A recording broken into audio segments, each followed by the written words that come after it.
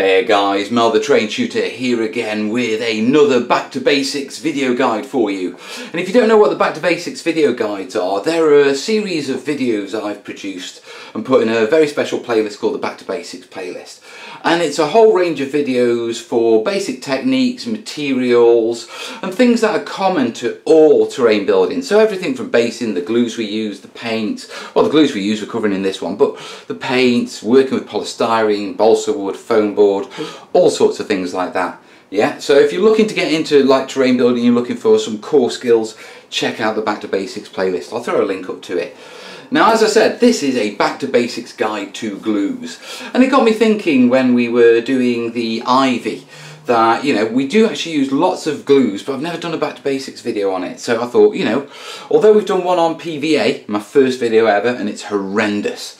And I'm going to have to revisit that sometime next year because I've, I've learned a lot more about PVA and you know we'll redo that one. But I've talked about PVA but I haven't really talked in general about all the glues. So that's what we're going to be doing now now before we jump into the the official glues yeah a quick word. Now as terrain builders we are scavengers and bodgers in nature okay? So although these are, you know, a wide range of, you know, core glues that we use, yeah, if it sticks, we use it. It's as simple as that. And you will find as you go on that you'll end up using tape, Blu Tack, uh, resin, all sorts of different things to stick things together because it works at the minute and it was at hand and you had some spare. It's the way it goes. But, yeah, and there's nothing wrong with that. I do it, yeah, loads of people do it. It's just in our nature okay but I want to talk about the core glues and where they fit in terrain building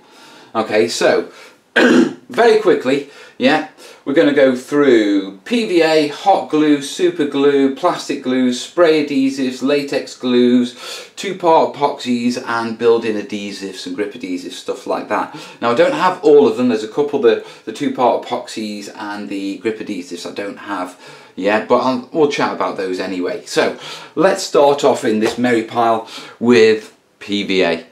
Now, polyvinyl acetate is a water-based, water-soluble glue. Yes, it isn't waterproof. Okay, it is the workhorse of terrain building. You'll know it from doing your bases and you know most people know PVA, wood glue, white glue. Elmer's is a brand in the US that's quite common. You know, I don't think there's a common brand in the UK, it's just PVA. Uh, now, like I say, it's the workhorse. It's water soluble, yeah. Generally, you know, most people have it in sort of quarter of a litre tubs like this. Yeah. If you're looking at doing terrain, then you need to nip down the, to the art shop or the craft shop and pick yourself up a litre bottle. Okay, if you're going to be doing a, a, lot of terrain, people like proper terrain builders and, you know, professional ones, myself included, although, you know, I don't take the professional title, yeah, we buy it by the gallon okay because you simply use that much of it. Now its core uses are gluing most things down but it works best where they're porous. So woods uh, polystyrenes where the surface isn't equal you know isn't a smooth exactly smooth surface but even then it works well because because of the holes within polystyrene. Yeah wood foam board card. Yeah what it doesn't work well on is things like plastics and metals and resins so the non-porous materials. It will glue them down, okay, but the bond is, it isn't good at all to be perfectly honest. It takes very little force to separate it. Now the other thing that's really good about PVA is, as I said, it's water soluble. So you can mix it with water, dilute it down, anything from a ratio of sort of 1 to 4 to 1 to 10, yeah, glue to, to water, and use it for sealing okay? And so you know sealing your foliage down sealing all your rocks down all that sort of stuff. Yeah it's got a typical drying time when it's on thick of probably about 12 to 24 hours depending on how thick it is. Thin layers dry much quicker. They can dry in you know an hour or two. Uh, when it comes to sealing and watering it down, yeah, well, there's a couple of ways of applying it. You can apply it with a brush and dab it on. The problem with that technique is that because PVA is water soluble, if you've used PVA to glue down your flock and your foliage, coming in with lots of water and re-soaking it to seal it with watered down PVA can reactivate the glue and essentially everything becomes unstuck. So the brush isn't the best method to use and if you are using it don't go over areas you've already done. You know keep moving along, keep working on the PVA that the stuff that's stuck down and, needing sealing rather than going back and working with the wet stuff that's all you've already sort of dabbed on. Yeah, but it's much better to spray it. Now, the cheapest way of spraying it is with a spray bottle. Uh, this is a Woodland Scenics one. It's not bad, I picked it up. What Generally, I use a, a cheap one pound uh, window glass cleaning spray bottle. You know, empty the, the stuff out of it and then just use the bottle. Lately, though, I have been using mainly, yeah, a cheap Hornby airbrush okay and this is I think it's £10 it's an external mix siphon feed yeah and it's great for you know knocking it gives me the control for putting the PVA down it puts it down much thinner than the other methods yeah and also by using this you know I never actually touch what I'm actually resealing and so you haven't got the issue of flooding it you haven't got the issue of disturbing it and it becoming unstuck so yeah if you are going to be doing a lot of terrain yeah seriously looking at least picking up one of those okay, for, for resealing work. But you don't need it. You know, I've used the spray bottle for years, yeah, with great effect. And, you know, this is just a little bit quicker, a little bit easier, and a little bit more control. Okay, so that's PVA in a nutshell. Yeah, moving on, yeah, let's talk about hot stuff, hot glue. Okay, now hot glue is essentially, you know, a low temperature plastic okay and the idea is that you know you have a gun yeah inside there there's a heater. You know you force the glue through. It comes through hot over here. Yeah all sticky and squodgy. You stuck your stuff down and then it cools and it sets. Okay? Now hot glue uh, guns come in various shapes and styles. Yeah uh, you've got I think this is 11 or 12 mil. I think this is 7 mil the, the smaller one. Yeah uh, you also get the sticks that, that you get uh, low melt sticks, high melt sticks. You can get variable temperature hot glue guns. Uh, you can get rechargeable, yeah, uh, cordless hot glue guns, and this is brilliant to be perfectly honest, but takes a lot of recharging in between uses. Uh, you can get glue sticks in different colours. Yeah, they don't have to be clear, so you can do you can do effects. I mean, I've used uh, hot glue to do bases. I've used them to do lava effects. You can pull off very basic water effects with hot glue. Yeah, but they are very basic. Okay, nowhere near in the sort of style of you know using resins and using your, your acrylic compounds for waves and that's and your corking that sort of stuff. But you know, cheap and cheerful. Yeah, it's a good quick solution. But as a glue, hot glue sits in the sort of really really quick and helpful glue okay you don't need it you know if you want to make terrain don't think you've got to go out and buy what you call it you know a hot glue gun because to be perfectly honest you can get away with 99% of the stuff you want to glue down with PVA and then you can get super glues just quite cheaply for you know odd little bits that you know PVA isn't suitable for.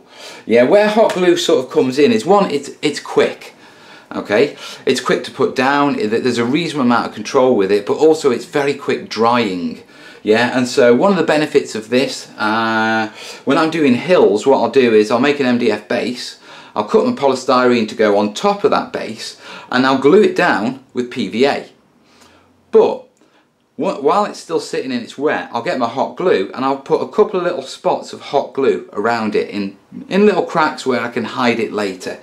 Yeah? That fixes the polystyrene to the MDF which means I can immediately carry on with texturing it working on it while it glues to the base okay so that's one of the benefits of hot glue. Hot glue is also really good where you've got difficult irregular surfaces. So uh, things like rocks you know if there's a if rocks aren't uniform at the bottom okay so if you're trying to glue them down with PVA you can often get what you get touch points where little bits of the rock that reach down to the base of glues, but most of it isn't glued. Whereas with hot glue, you can put a blob down, and because it's thick, it squeezes in and makes a far better bond.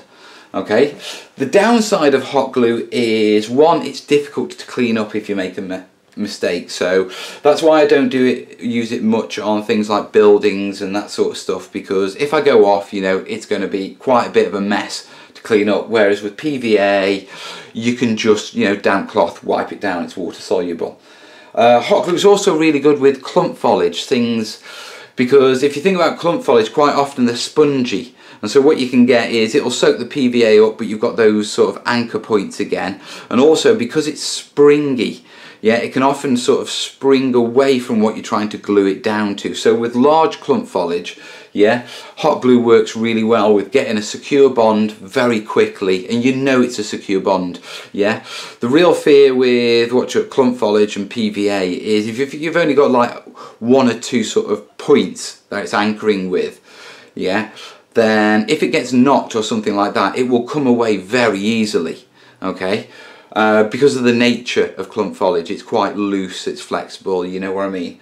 Yeah. And so hot glue gives a really good seal base for when you're working with clump foliage, but it doesn't work with tiny bits that well. Yeah. The other downside of hot glue is as you use hot glue, take a breath, Mel. Right, as you use hot glue, it's alright, I'm talking non-stop. Just let me grab a brew. I haven't even got a brew. What a sh... What? Planning and preparation, boss. Yeah, right, let's finish off the hot glue. One of the other issues with hot glue is as you watch glue, as you put it down, yeah, as you pull your hot glue gun away from your blob to stick your thing down, yeah, you'll get a wisp, okay, a trail of silver that will cool and dry as, uh, as like, like a wisp, a little hair, a long hair strand, okay, and they can get in the way and they can be a pain in the backside at times, yeah, one quick tip for dealing with those is, you know, as, you, as either as you work in or once you've done all your hot gluing and you're ready before you move on to your next stage, give the, the piece a, a quick blast with a hairdryer or a very gentle blast, quick gentle blast with a heat gun. And what that'll do is it will quickly melt those away and they'll just disappear. Yeah, so that's one quick tip for working with hot glue. So that's where hot glue sits. Okay, it, it's very quick and efficient. Okay, it's it's reasonably cost effective to be perfectly honest. Once you've got the gun, I mean, you can pick up a gun for a tenner. You know, you can pick them up cheaper than that, but you know the cheap ones tend to break. Yeah, I picked this one up for about a tenner. Yeah, the glue sticks you can buy 50, 100 for a couple of quid. So, you know, it's certainly viable. You can also get what you call variable temperature glue guns. Yeah, and the benefit of variable temperature glue guns is uh, the hotter the glue, the quicker it sort of moves and the flatter you can get it. Okay, so if you want to really get two pieces really close together, then the hotter it is, the better. Okay, so variable glue guns, yeah, they're, they're useful for that sort of stuff. Yeah, generally, if I need to sort of adjust the temperature of my glue gun, yeah, uh, if I want a low temperature, I'll use it just as I've switched it on as soon as it's sort of warming up. If I want a high temperature, I'll watch it, I'll wait five minutes and let it really warm up until I start knocking the glue out. Yeah, so don't think you need a variable temperature. I haven't felt the need of a variable temperature yet, so, you know, you don't. Right, so that's hot glue done and PVA glue done. Right, let's talk about super glue. Okay, uh, cheap and nasty uh, gel super glue.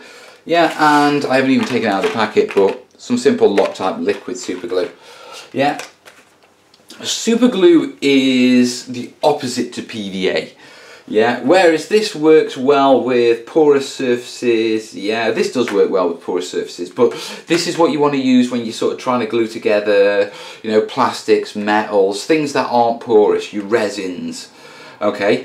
Generally, we use the liquid stuff for fixing down uh, da, da, da, little re resin and, metal additions to our terrain.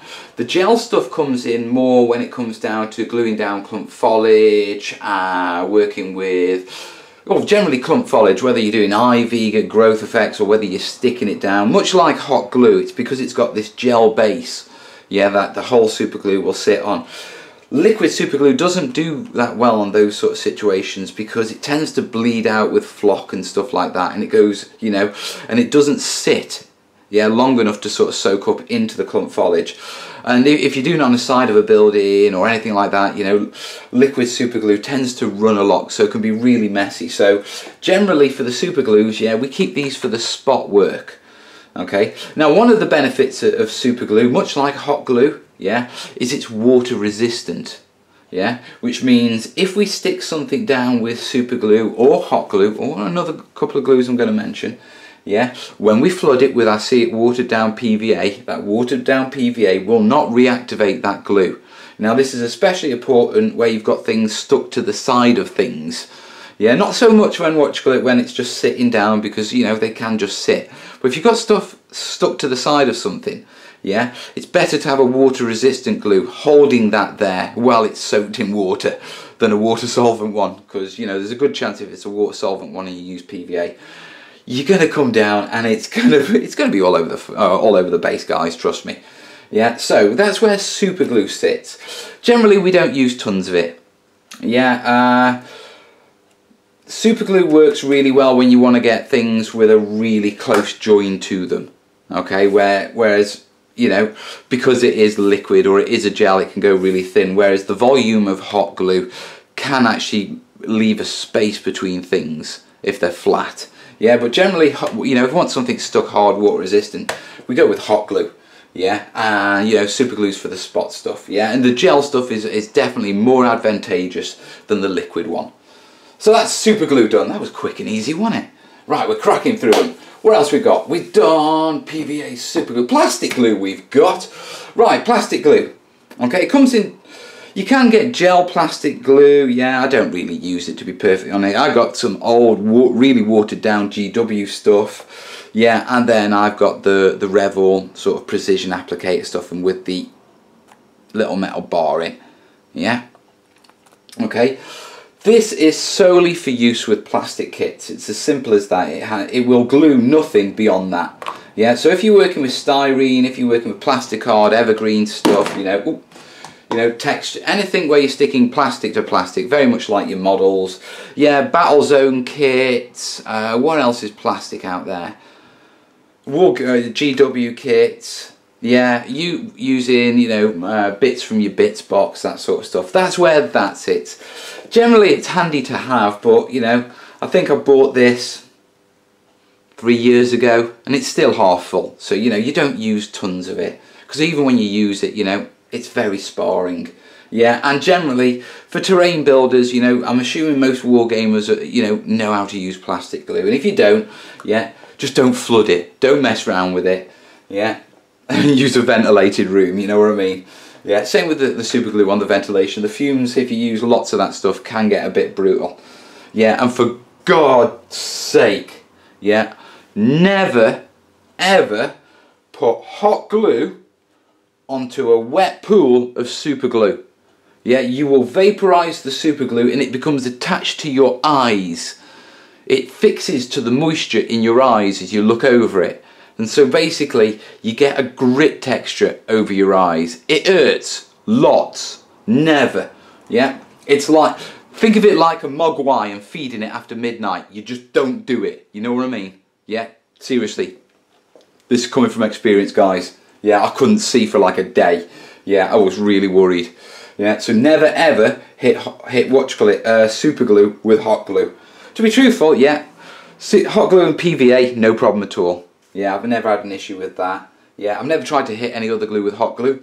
Yeah, but don't, not, not super glue. So there's your tip on super glue. We're bouncing about a bit, but it was important. Safety first. Yeah, you don't want to stick your eyes together, guys. Trust me. Doesn't help with terrain building. Right, so we've, we've talked about plastic glues because there's not much more I can say about plastic glues when it comes to terrain building. Yes, right, so spray adhesives. Right, spray adhesives. Yeah, you get all sorts of spray adhesives. Generally, they're, they're rubber paints, so really they're latex paints, which, you know, we'll talk about, you know, next. But you can get all sorts of spray adhesives. Yeah, uh, I showed them off in the Floxam Phology and Terrain Lab videos. We did a whole load of tests for them. Right, spray adhesives mainly come in when you're trying to flock things which would be a pain in the backside to apply glue to any other way. So think of things like wire wool, think of things like rubberized horsehair which is used for shrubs and bushes and hedges. I should do a video on that. I've got some in there, I'll do a video on that at some point guys. Yeah, trees, yeah, so you know your bottle brush trees, yeah, you give them a good spray with the, with the what call it, the fast tack, yeah, uh, it coats it all down, yeah, and then you stick it in your, in your flock, give it a good shake and they come out flocked, looking like trees. Well, looking like bottle trees, which is a type of tree, and we'll do a video on that as well. I've got everything I need, so we'll do, do one on that. But anyway, yeah, so the real benefit of these is one, yeah, they're really good at spraying things which, you know, lots of fibres, lots of difficult to get to because it's very much like using, you know, a spray primer to do something like that. You know what it's like when you look at something that you think that's going to be a pain in the backside to, to paint, you know, a, a colour onto it. It'd be easier just to spray it. Yeah, as I say, they are a rubber based ones, which means, yeah, they are water resistant as well which means these work well, yeah, for working with PVA, yeah, with sealing. So, you know, you do your clump foliage, you do your, your, your flocking, you, you, you know, and then once it's all dry and set, you can hit it with watered down PVA and you know all the bits aren't going to fall off, yeah. Uh, you'll see, are you, are you noticing a balance with what glues we use for what and this sort of water balance and strength and, and sort of fixing diff against difficult surfaces. That's where all the glues come into it. That's the interesting stuff. But I digress. Right, so as I said, yeah, one thing to consider is they are a shotgun glue. And by shotgun glue, glue shotgun glue, blue, blue shotgun blue.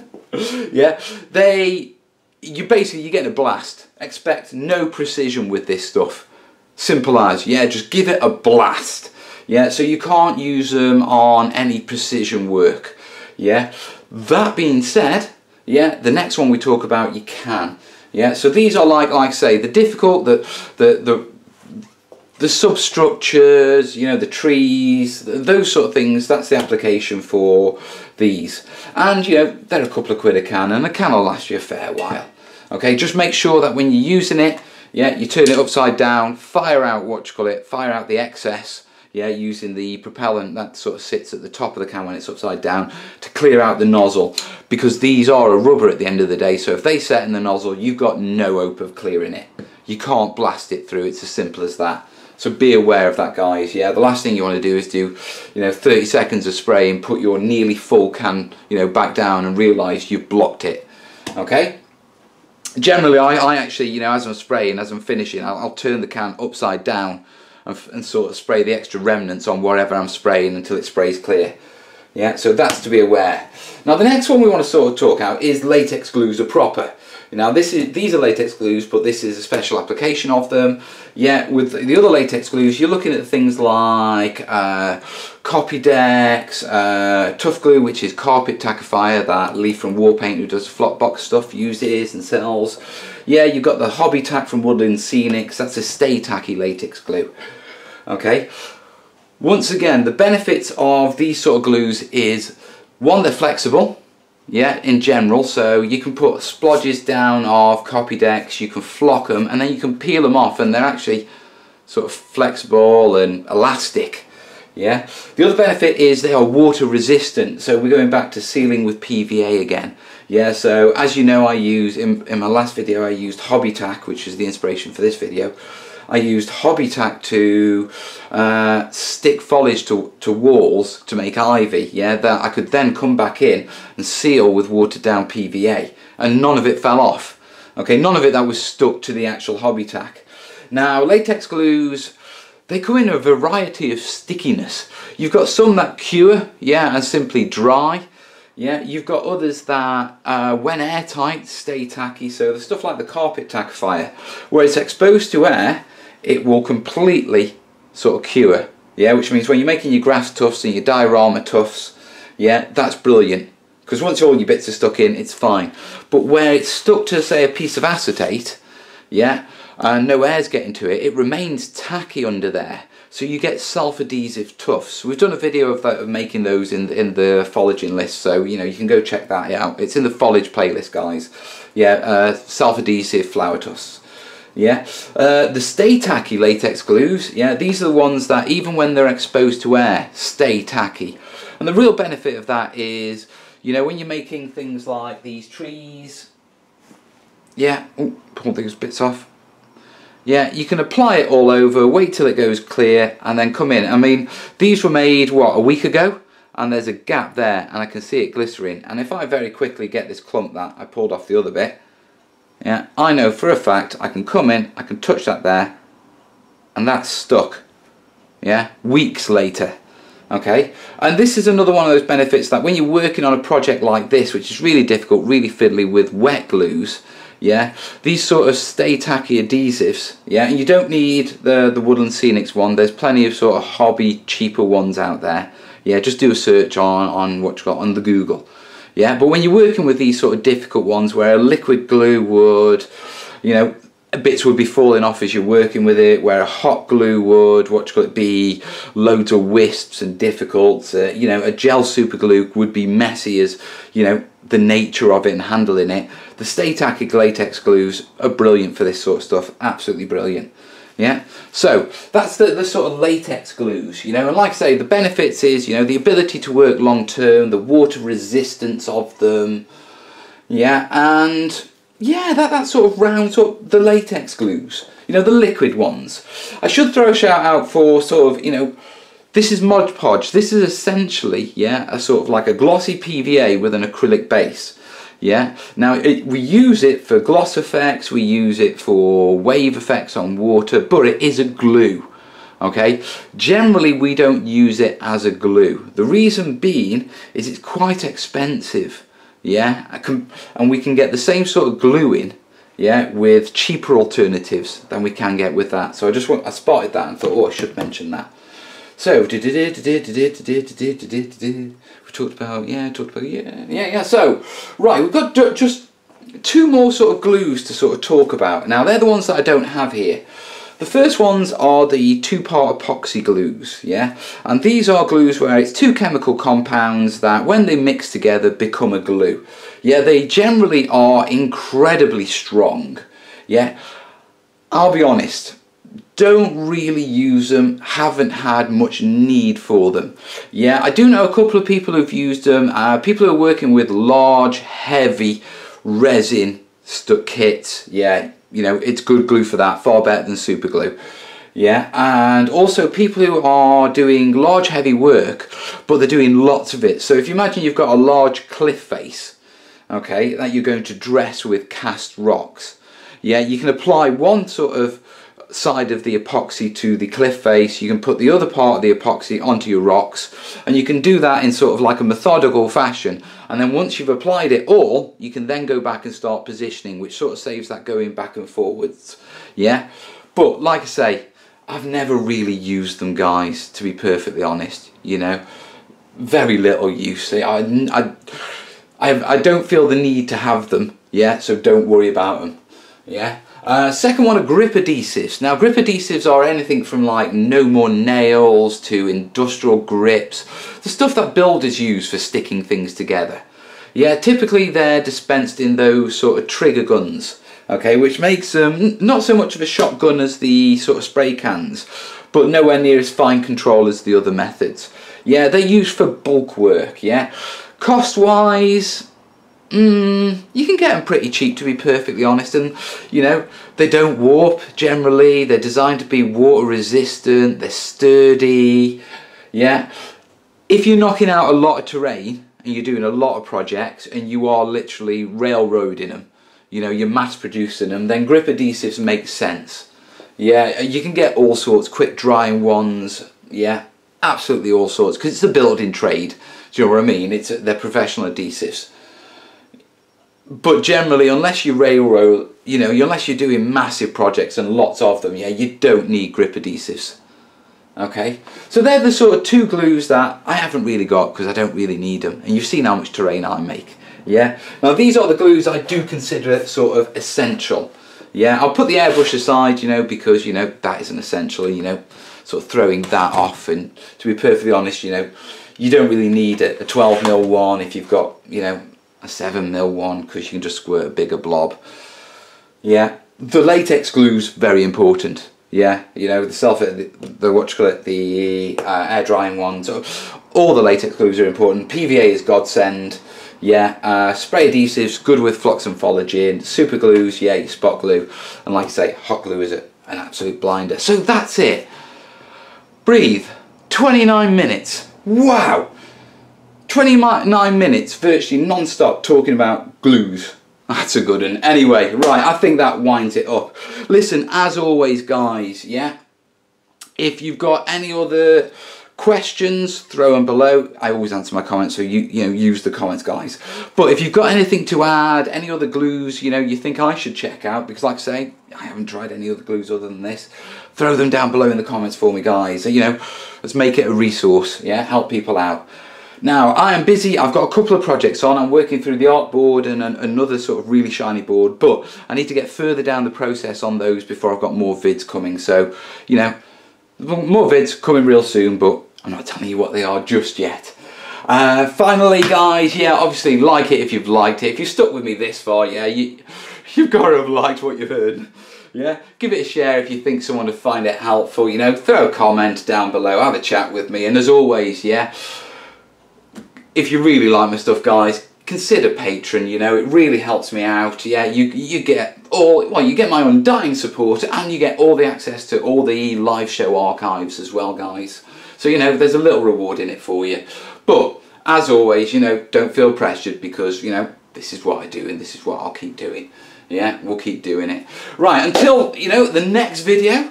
Yeah, it's going to be good yeah, I will say happy gluing, guys. I hope you found it helpful, and you know, if you need me, catch me in the comments. All the best, yeah. ta